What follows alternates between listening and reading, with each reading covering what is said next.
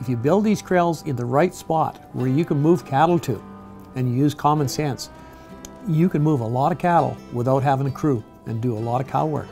So that's why all these at home, they all lead to the yard, all my paddocks.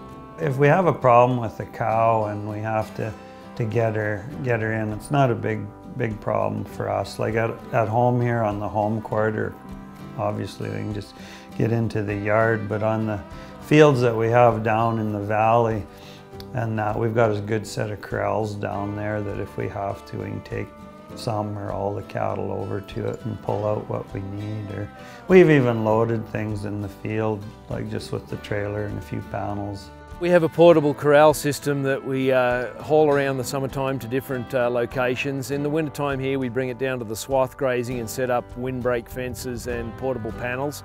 The cattle are uh, preg checked and treated down here sometime in the fall while they're on swaths.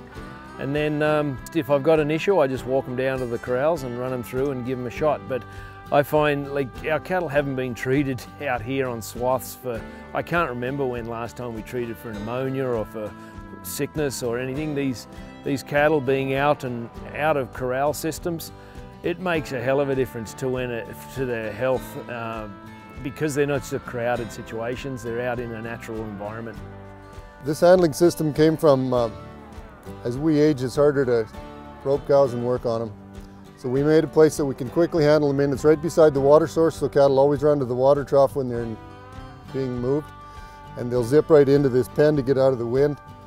It gives us a place to mother up cows or to pull a calf or to doctor something if we need it.